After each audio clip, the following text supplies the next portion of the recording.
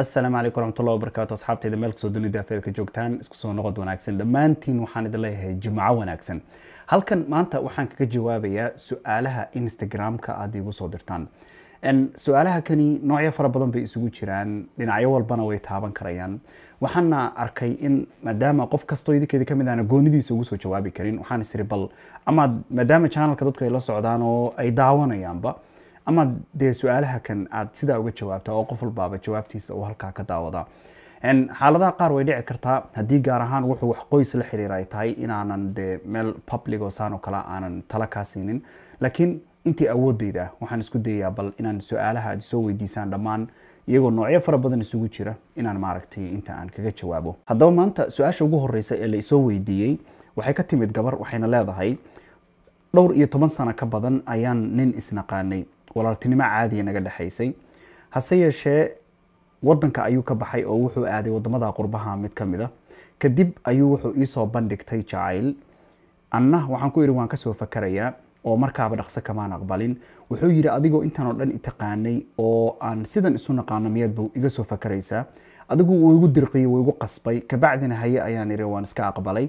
Markaa jaamacad ayaan dhiganayay jaamacadda markaa dhamaysid ayaan imaanaya oo aan isguursanaynaa ayay ballantayadu ahayd.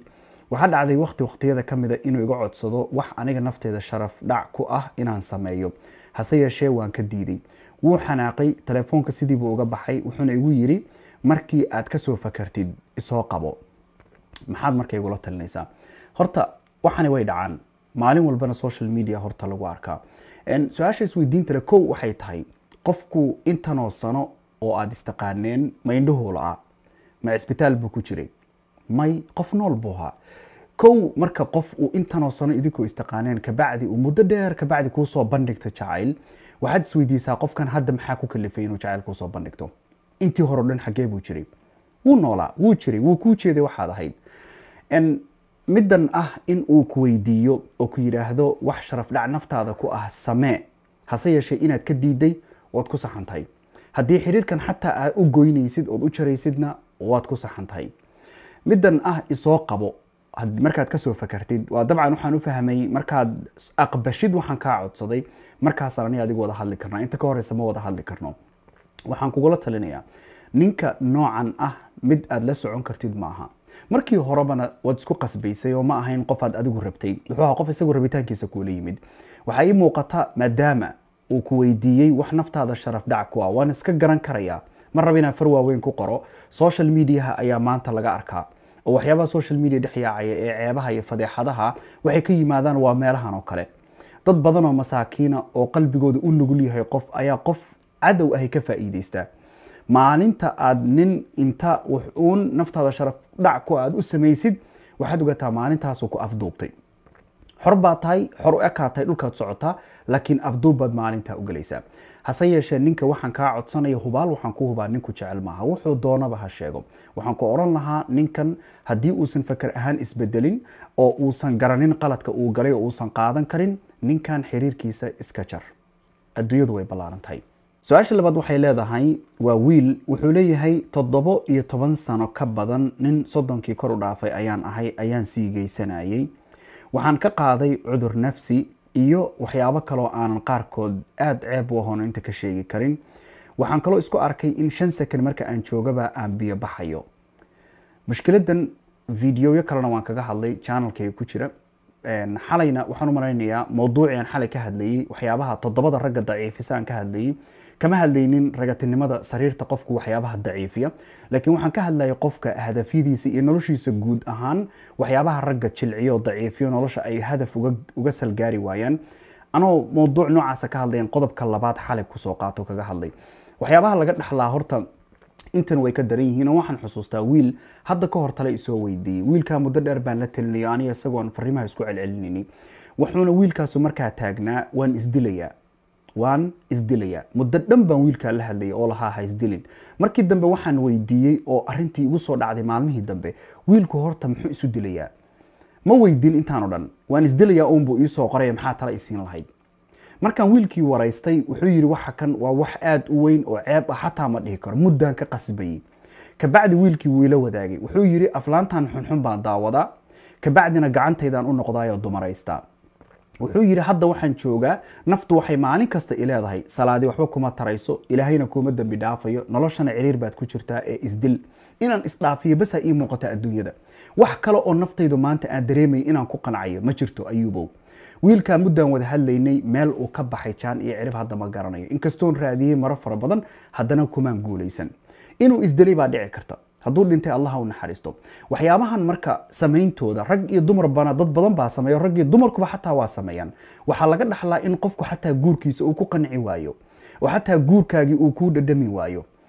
Waxaanad ogaataa xubinka taranku sidiisaba waa waa waa seedo haddii seedatan aad maalin walba saan u celinaysid oo u celinaysid u celinaysid marka dambe shaygii dee fartan ma la eka xubinka taranku laakiin fartan meeshii laga rabay inuu la ekaa sida macquulkii qofka biniaadamka loogu talagalay waxaan u shan waxaan u malaynayaa waxay yidhahdaan dhakhaatiirtu ilaa five inches bay yidhaahdaan. Laakiin waa inta ugu dee macquulka ah ee qofka biniaadamka abuurkiisa. Haddana haddii maalin walba aad sidan leedahay adigoo weliba haddana u isticmaalaya waxyaabo dareerayaal ah xubinku marka dambe intan buu leekaanaya haddii intan iyo shan sekanood biyo baxaysid ay isku darsamaan gurigaasu ma dhaqmaya ma dhaqmayo. La yaab male haddaad aragtid islaanta digsiyaday tuurtuuraysa iyo sharqanta iyo carruurta lacnadayso adoo maqlaya haddaad habeenkii subaxii hurdada lagaaga kiciyo ha la yaabin. Tan laguma dhaqmi karayo hubaal. Tan marka waxaad ku fashilmaysaa qofkaa dunida ka soo dooratay in aad weydid baa tan ka imaanaysa. Cudurada laga dhaxlo waxaa ka mid a in qofku uu faqri ka qaado dadka waxaan sameeya rag iyo dumarba faqri kama dhammaadaan. Faqri kama dhammaadaanoo shilinkay xataa keenaan shilin shilin isu uma geeyo. Waayo ogow dembigan yaa horta irsaaqada bixiya. Allah yaa dembigan hortiisa ku samaynaysaa allah keligii dadkoo dhan baad kala soo dhuumatay. Yastakfuuna min annaas walaa yastakfuuna min allahi wahuwa macahum id yubayituuna maa laa yardaa min alqowl dadka dadka ka dhuunta maaragtay meel gooniya xumaanta la galaa waa inay ogaadaan allah waa kan ku arkaya. Waxaa dadka u quuri weyday waad rabbigaa u quurtay keligiin uu kugu arko. Subxaana allahi alcadiim. Marka waxyaabaha laga dhaxlaa faqrigaa ka mid oo aragtidaada gaabanaysa xataa aragtidaadii fikradeed ma lahaanaysid oo cilmigiibaa kugu adkaanaya oo qalbigaagu dhagax buu noqonaya oo qur'aankii baadan karaynin oo salaadihii baad ka caajisaysaa oo cibaadadaadii baa xumaanaysa oo cudur nafsi muxuunan kuugu dhacaynin marka cudur nafsiya wuu kugu dhacayaa waad xanuunsanaysaa dadka haddaad fiirisid aflaantan foosha xundhiga badankooda aakhirkooda haddaad fiirisid waxyaabaha laga qoro foolxumada ay leeyihiin waayo gaaladu way arkeen waxa kani foolxumada ay leeyihiin. Markaad akhridid waxyaabaha laga qoro waad ashqaraaraysaa waad la yaabaysaa badankoodu way isdilaan badankoodu dadka waxaan foosha xun samaynaya aakhirkoodu way isdilaan way qaadan kari waayaan iyagii naf ahaantoodii way qaadan kari way isdilaan. Marka adoo muslima bal ka warna marka. Subxaan allahi alcadiim. Marka ilaahay inaad ka baqdid aragtidaadii maskaxeed iyo aragtidaadii indhoodba waa daciifayaan.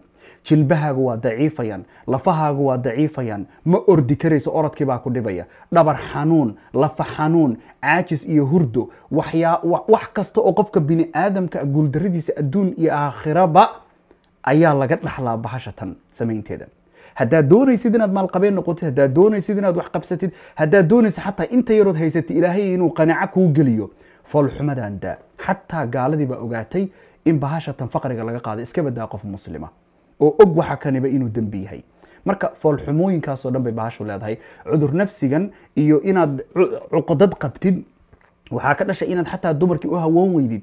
Waxaad rag badan ay dumarka uga cabsanayaan oo aysan ula hadli karin ee la jaraynayaan markay gabar arkaan sidii inay libaax tahay ay uga ekaanayso maxay tahay? Wax kale ma aha. Waa wixii ilaahay ugu talagalay si dii la rabay in loogu guto meel oo jirkaaga la rabay inaad ku dhex celisid inuu ilaahay kaa nafisiiyo maahane bad adigu qasab iskaga keenaysaa adoo ilaahay caasinaya.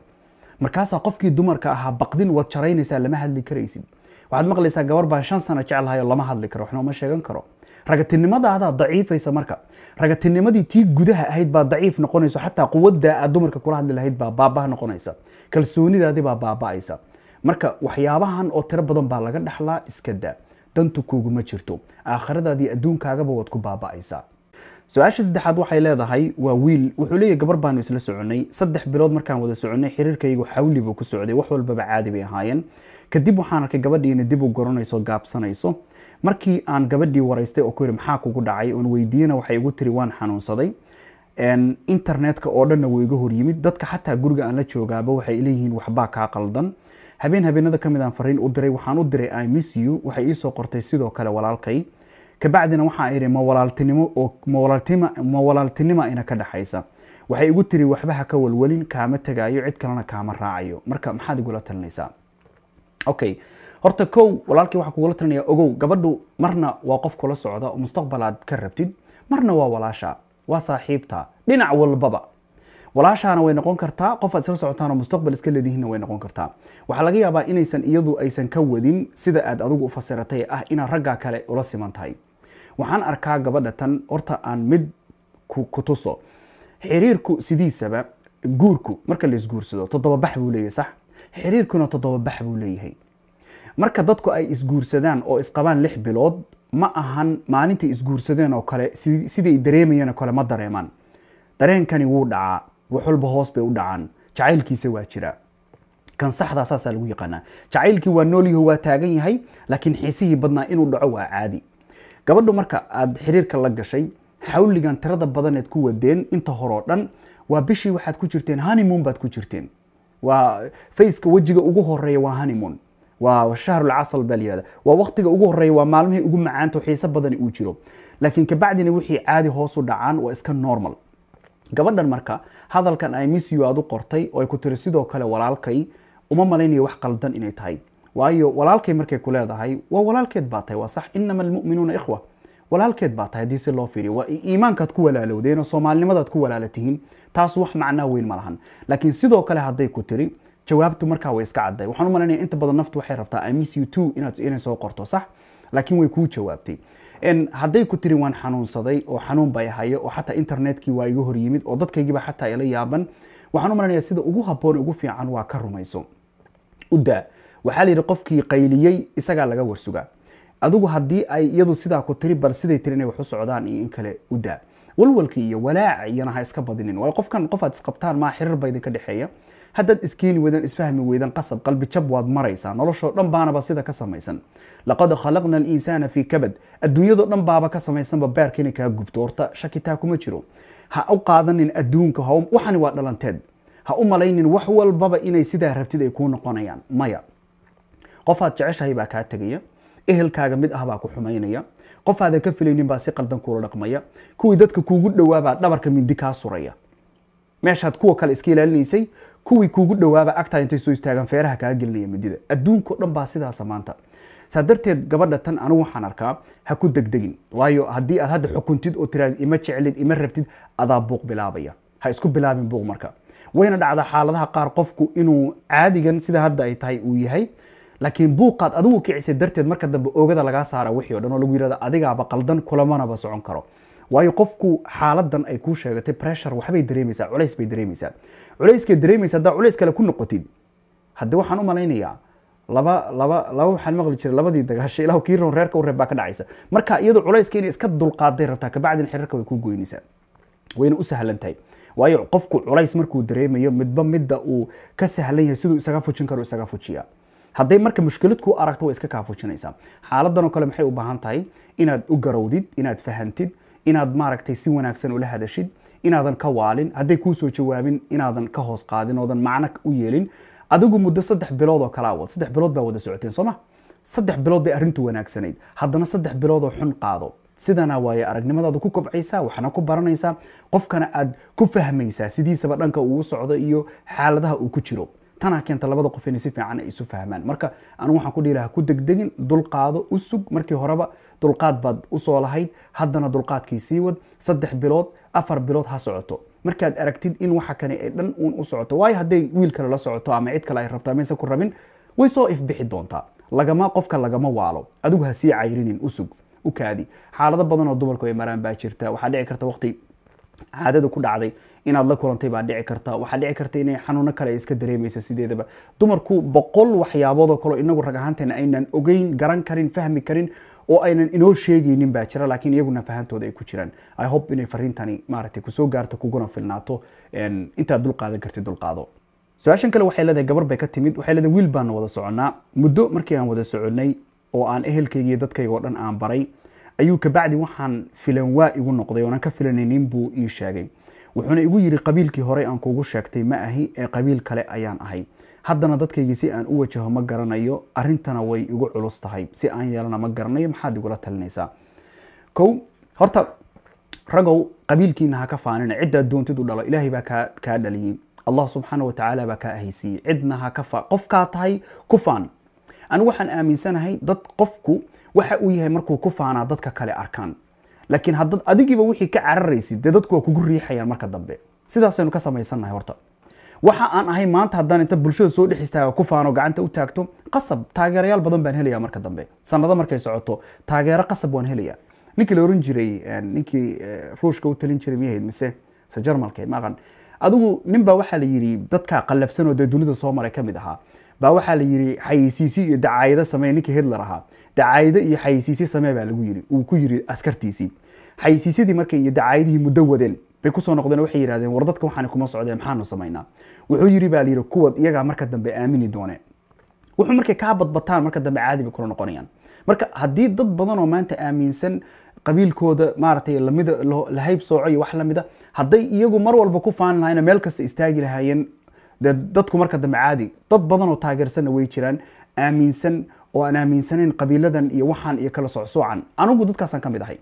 Maanta allah subxaana wa iguma maba aynan dhicin oo maanan arkin. Laakiin haddii xataa gabaraan la socdo shukaansaday inkastoo qabiilo waaweyn aan ka soo jeedo haddana saasoo ay tahay haddii maanta igu soo beegmi lahayd gabar dadkaa la sooco ah wallahi alcadiim inaanan cidna kala tashadeen. Qofkii igu goynaya igu gooyaan odhan lahaa. Sababto maxay tahay? Waayo waa bini aadam. Maxay isdhaamaan iyadiyo gabadha kale waxba isma dhaamaan wax ilaahay lay isdhaamaan ma jirto. Dadku waxay ku kala soocan yihiin ku kala duwan yihiin waa sidai ilahay ugu kala dhow yihiin inta kale soo maaha. Waa laga yaaba dadka qaarkood in rasul sal slam wuxuu yidhi nasabkaa lagu guursadaa laakiin qasab lagaagama dhigin. Naar iyo janno laguma bixiyo. Marba haddaysan labadaa ku xirnayna qofku wuxuu yahay looma fiiriyo shaksiyadiisa la fiiriya sidoo kale dadka qabiilada caaya qabiilada lama wada caayo. Waayo shaksigan wax kuu dhimay ha laakiin dadkoo dhan maya waa qalad. Waxaa la mid a sidoo kale kadaali dad soomaaliya waxaad maqlaysaa. Carabtu waa sida carabtu waa sida. Carabta nebi maxamed sala allahu calayhi wasalam baa ka dhashay. Carab markaa tiri magac oo dhan waad isku dartay. Shaksiga wax kuu dhimay taarget garee laakiin inaad dadkoo dhan isku jamcisid jahliga ku hayay ku tusaysaa. Marka anigu waxaan ku oran lahaa horta waa arrin culus waana arrin qaldan inuu markii hore qabiil kuu sheegto haddana qabiil kale kuu sheegto. Waayo tanoo kale waxaa ka dhashay inaad aamini weydid qofkii. Waxaa la yidhi beentaada hore runtaada dambe u daran tahay oo inta badan run dambe uu kuu sheego baadan kala garan karayn ma runbaa mise waa been? Tani way kugu adkaanaysaa. Laakiin waxaan ku oran lahaa weydii wiilka horta markii hore sababta ka keentay muxuu ahaa qabiilka uu hadda kuu sheegtay dambana waa iska caadi oo dadkaaga waad u sheegi kartaa waxaa oran kartaa anaa ismoodsiiyey. Waxaa dhici karta isagu inuusan u sheegin oo afkiisa ka oran laakiin anaa ismoodsiiyey dheh anaa ismoodsiiyey. Inaad dadkaaga ku dhahay taa waad dabooli kartaa laakiin isaga weydiiya waxaa tirada horta maxaa kugu kalifay? Kabacdina qiilka uu kuu sheegto fiiri jacaylka aad u qabtid iyo wanaaggeedii ka dhexeeyey iyo qofkan shaksiyad wanaaggiisana qadari. Intaana waxaan rajaynayaa in ay arrintu ku dhammaan doonto. Dhammaantiin intaynu video kale dib ugu kulmayno wasalaamu calaykum waraxmatullahi tacaala wabarakaatu